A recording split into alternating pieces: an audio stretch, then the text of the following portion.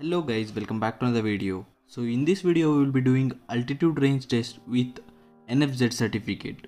So with NFZ certificate it's clear that we can fly more than 500 meters. In this video we will try to reach 1000 meters height. So watch this video till the end to know the maximum height range that Mini 2 can cover with NFZ certificate. The home point has been updated. Please check it on the Once map. our home point is updated, let's quickly go into the unlock geo zone and turn on the drone hacks certificate. Turn on the certificate, you need to go into the safety settings and scroll down and click on unlock geo zone. There you get a drone hack certificate to unlock the 15 meters restriction and no fly zones. To know more about this certificate and hack method, you can click on the uh, link appearing in the I button and visit the video and watch it completely to know more about this NFZ certificate. As we have turned on the certificate, now let's quickly take off our drone and test the max altitude range. If you guys don't have this certificate installed, then you need to purchase a drone Take hacks off. license and then get The this home method point done. has been updated. Please check it on the map. If you guys don't have the drone hack license, there is a chance to get this license for free. Just you need to do is you need to participate in the giveaway contest running on this channel. Yes guys, there is a giveaway contest running on the channel. You guys can participate in that and try your luck.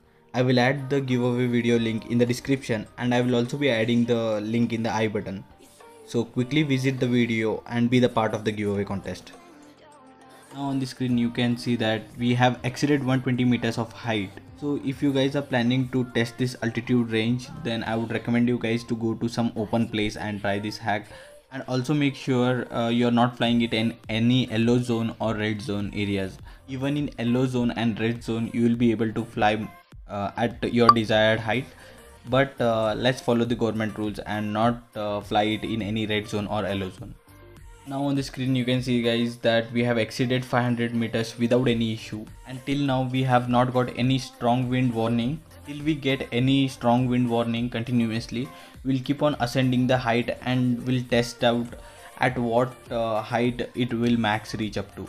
If you guys are flying your mini or mini 2 uh, more than 120 meters then make sure you are not getting any strong wind warning. If you are getting a strong wind warning and if you are still flying it for some extent then there is a high chance that you may lose your drone. Because in such cases what happens is there will be a high uh, interference in the signal and uh, even drone will lose its path and keep on drifting to the way of the wind. And even RTH will not work whenever there is a strong wind as you can see on the screen we have exceeded 800 meters and also monitor the battery status. We are at currently running at 53 percent. So at the height of uh, 830 meters we have uh, started getting a strong wind warning continuously. From here we will not be increasing our height because i don't want to risk my drone. And also you can see the battery status that is at 52 percent. In the battery status it also showing that it needs another 48% for uh, uh, getting back to the home. So during high wind uh, it consumes a lot of battery power so i'll not be increasing the height. We will just descend back and go back to the home. So with this we got an assurity that mini 2 can exceed 1000 meters without any issue. Because at 830 meters height also we did not lose connectivity between drone and rc there was perfect signal between rc and aircraft so as you can see on the screen that I was operating a quick shot and all of the sudden my DJI Fly app crashed and I have reopened my DJI Fly app. This is some frequent issue that I'm facing from DJI Fly app. Uh, whenever we will be flying uh, our drone and our drone will be in the air, uh, if we quickly operate some of the functions then automatically DJI Fly app will be crashed and we need to reopen it again so please provide your opinion about this issue if you guys are also facing the same issue please comment below and let me know about this. So that's it for this video guys. I hope you have liked this video and found this video informative. If you guys found this video informative do hit a like button and subscribe to my channel.